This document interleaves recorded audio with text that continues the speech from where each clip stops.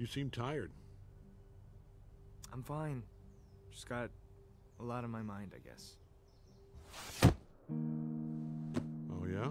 So, what is it? You're just gonna keep prying if I'm evasive at all, so, um. I'm scared, Dad. What if I can't do this? You hear it? I do. Get ready.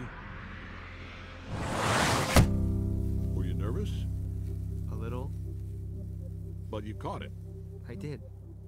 Being a superhero is no different. This is the beginning of a long journey for you and me. Along the way, you're going to need to do things you don't want to do or might not think you can do. It's okay to be scared. It's natural to doubt yourself. But if you can push through that and do what needs to be done, you'll do just fine. You think you can do that, Mark? Yeah.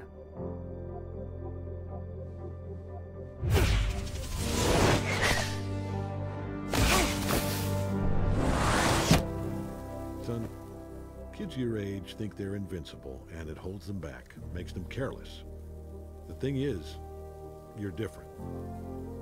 You actually are invincible.